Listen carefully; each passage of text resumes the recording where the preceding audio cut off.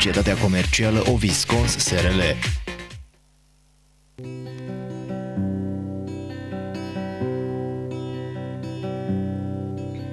De cauți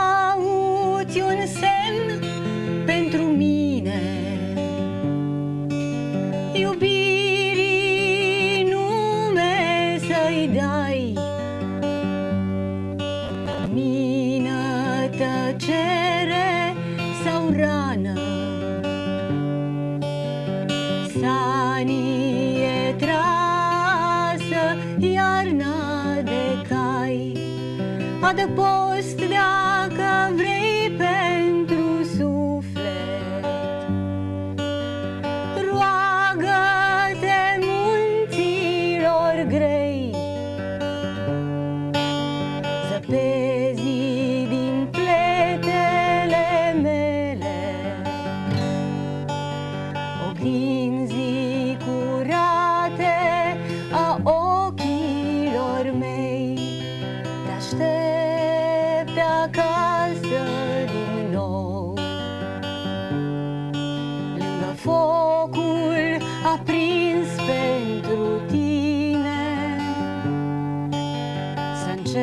începem acum veacul nou. Te aștept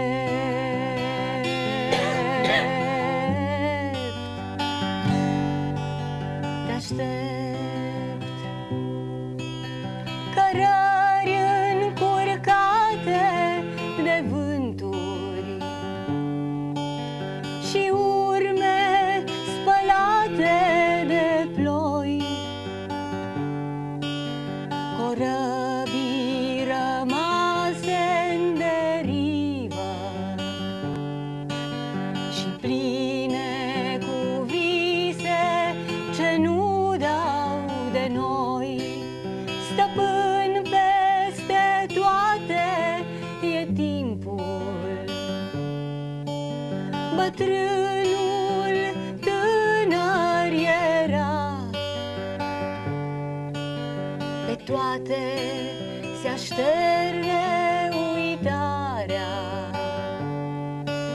Dar eu nu te pot niciodată uita.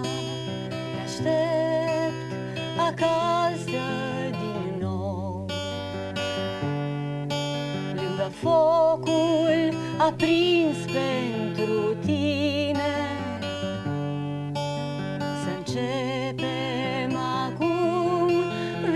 veacul nou Te aștept, te aștept Te aștept Doamnelor, domnilor, mai trebuie să prezint uh, emisiunea, mai trebuie să vă prezint uh, uh, doamna care ne-a încântat adineori. Nu cred că e cazul, dar totuși trebuie să-mi fac. Asta e meseria.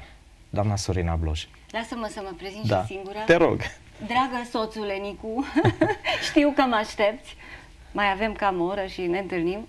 Această piesă vreau să-i o dedic lui.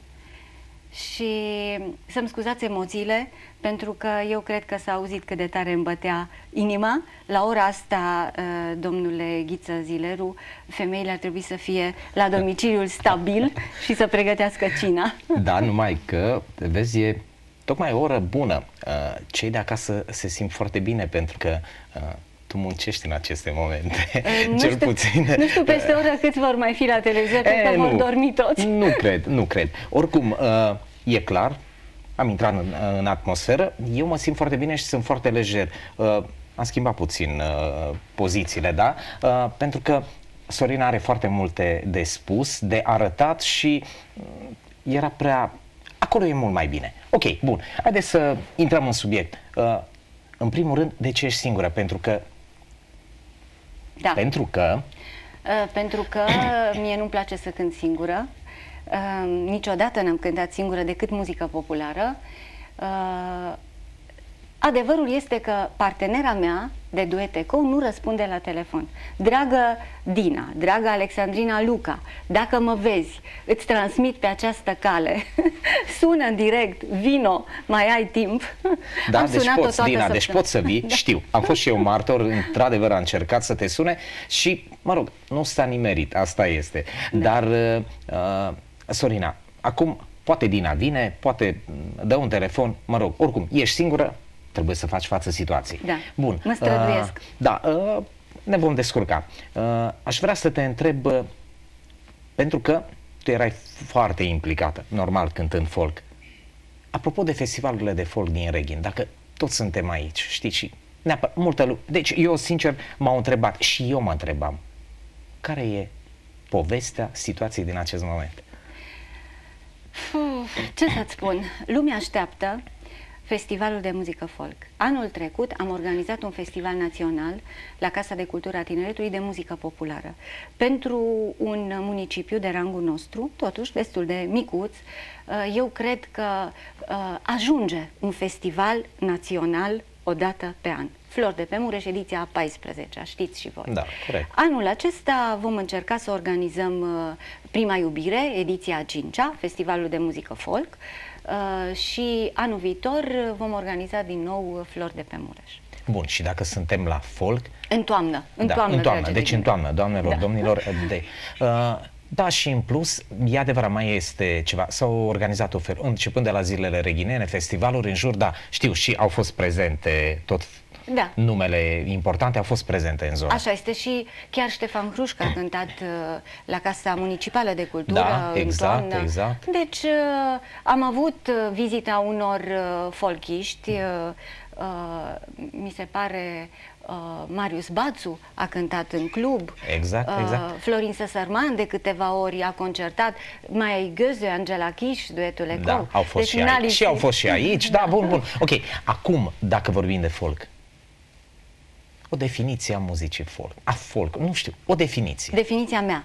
A, dacă vrei, da, folcul Așa. înseamnă, da, definiția ta. Definiția mea. Uh, Este o altă formă de a spune poezie. Deci de a recita poezie.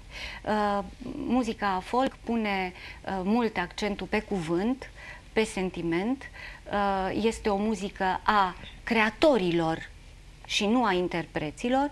Deci cei care sunt promovați în muzica folk se prezintă cu propriile lor creații. De aceea și festivalurile noastre, uh, Chitara de Argint, 8 ediții, Prima Iubire, 5 ediții, a promovat uh, uh, tinere talente creatoare, nu doar interprete de muzică folk. Deci muzica trebuie să fie neapărat creată de cel care cântă. Bine, versurile pot fi proprii sau semnate de un, uh, de un poet adevărat, Da. dar cei mai mulți își cântă propriile lor, uh, propriile lor versuri.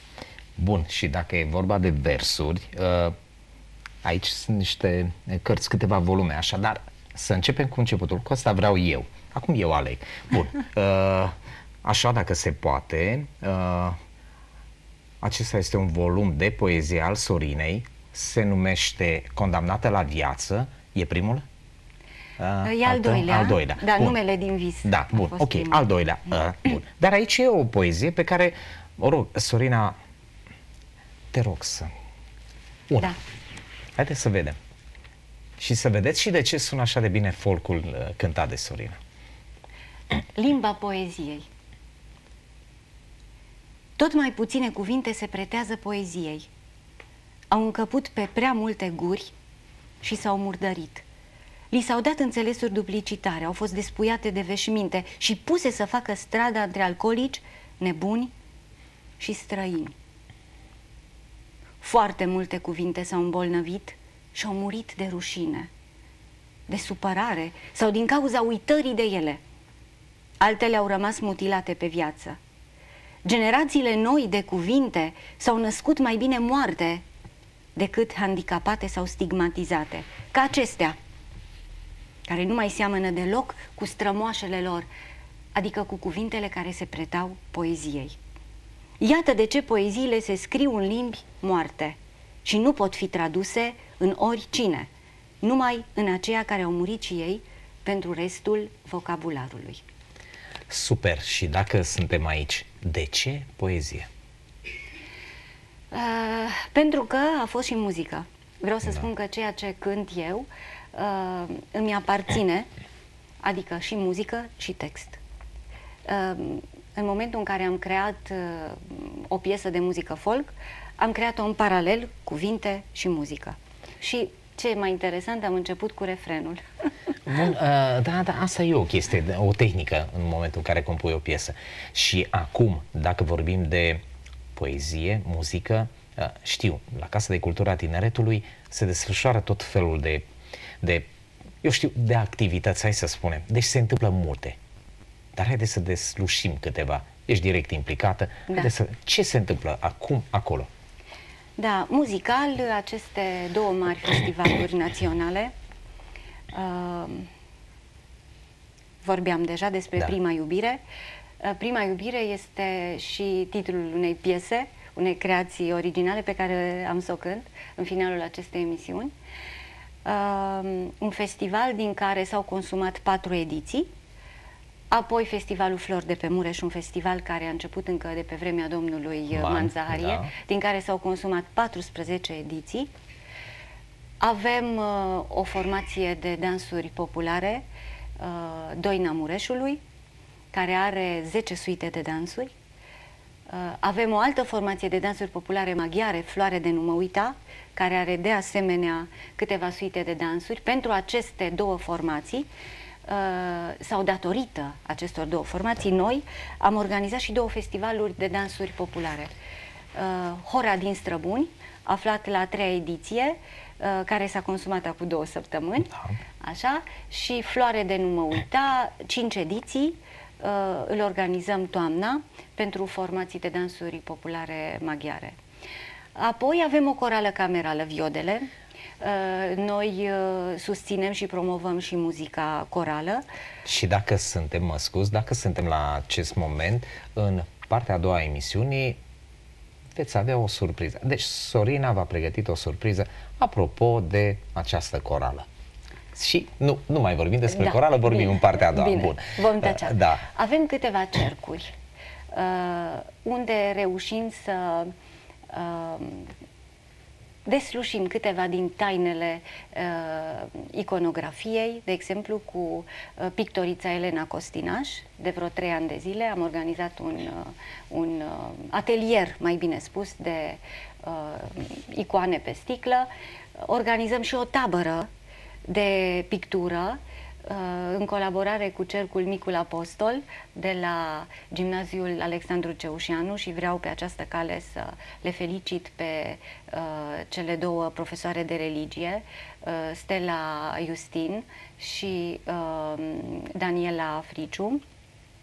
Stella Iacob, Da. uh, Justin Iacob este părintele uh, preot în biserica uh, unde se uh, organizează această tabără la Voivodeni, de fapt în, uh, la biserica de la fi- uh, firmele Gliga. Da. de acolo. Și uh, avem un cerc de uh, chitară, un cerc de pian, uh, un cerc de desen, uh, pilates, balet și toate serbările posibile și imposibile ale grădinițelor și ale uh, claselor primare din Reghin se uh, desfășoară pe scena noastră. Și mai e ceva. Da. Uh, Dacă cineva, uh, nu știu, acum haideți să... Sorina are muzica în sânge și e... Eu cam înțeleg de ce, dar dacă există o trupă care caută un loc unde să repete sau ceva și apelează la Sorina, de obicei se rezolvă. Așa este. Este? Sunt, da, Deci cine apelează la tine? Totuși, de ce? Uh, Vreau să spun, oricum ai foarte multe lucruri acolo și foarte multă lume. Cum de găsești timp și pentru ei? Bun, haideți mă găsiți.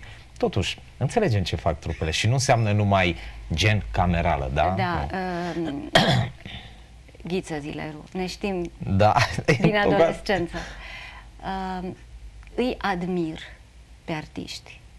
Îi admir pe cei care încearcă să uh, cunoască tainele artei și atunci nu se poate, în casa lor de cultură, Casa de Cultură a Tineretului, să nu-și găsească un spațiu prielnic pentru a exersa, pentru a repeta și chiar pentru a-și pune în, în valoare uh, talentul. Uh, știi, la un moment dat uh, am ajuns să cunosc mai bine chiar și artiștii, să zicem, de pe plan local, da? da?